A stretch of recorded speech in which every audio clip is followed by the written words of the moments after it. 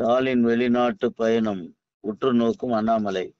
ஸ்டாலின் தமிழக முதல்வர் ஸ்டாலின் அவர்கள் வந்து அதாவது துபாய் வெளிநாட்டு பயணம் போறாருன்றாங்க. அங்க ப்ரொஃபஷனல் எக்ஸ்போ அப்படின்றது தொழில் கண்காட்சி அப்படின்ற மாதிரி ஒரு ஏதோ நடக்குது.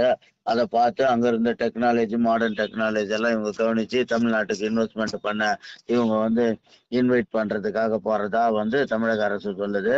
இது தந்தை மகனும் செல்றாங்க அப்படின்னு சொல்றாங்க. இது தந்தை மகன் செல்லக்கூடியது அவங்களுடைய பர்சனல் டூர் கிடையாது. இதுல வந்து முதலமைச்சர் போகணும் அப்படின்றதுதான் உண்மை. இல்லைன்னா எம்எல்ஏ ஏன் கூட போயிடறாருன்னு தெரியல. ரெண்டாவது தமிழ்நாடு அரசு வந்து தன்னுடைய வருஷ வரு- வருடாந்திர பட்ஜெட் வந்து மூணு லட்சம் கோடி மூன்றரை லட்சம் கோடி போட்டுக்கிட்டு இருக்குன்னாங்க அதுக்கு மேல இங்க ஏழு லட்சம் கோடி கடன் இருக்குது அப்படின்றதுனால எந்த வெளிநாட்டு நிறுவனங்களும் இங்க வந்து இன்வெஸ்ட்மெண்ட் பண்றதுக்கு தயாராக இல்லைன்றது தான் உண்மை.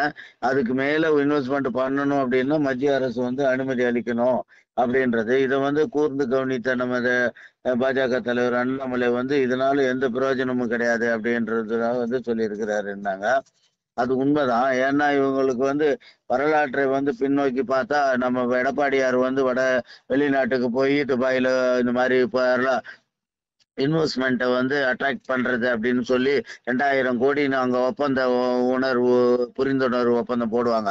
ஆனா ஒப்பந்தம் போட்டவங்க எல்லாருமே வந்து இங்க கம்பெனி தொடங்க மாட்டாங்க. இது வந்து ஒரு போலி. வந்து வெளிநாட்டு கம்பெனிகளை நாங்க போய் இங்க அழைத்து வந்து விட்டோம் அப்படின்னு சொல்லி மக்களுக்காக சொல்றதுக்காக தப்ப எல்லா கம்பெனியும் வராது. அப்படி வந்த கம்பெனியும் பாதி கம்பெனி மீண்டும் அது இங்க வந்து நிலைக்கிறது கூட இல்லை அப்படின்றது தான் உண்மை. அதனால இவங்க வந்து இந்த ரெண்டு பேரும் வெளிநாட்டு போனது வந்து இது தமிழக அரசு சார்பாக கிடையாது. அவங்க சொந்த சார்பு மாதிரி இருக்குது. இதனால எந்த பயன் இல்லை அப்படின்னு சொல்லி நம்ம அண்ணாமலைஜி அதை வந்து அதை பற்றி விமர்சனம் செய்துள்ளார்.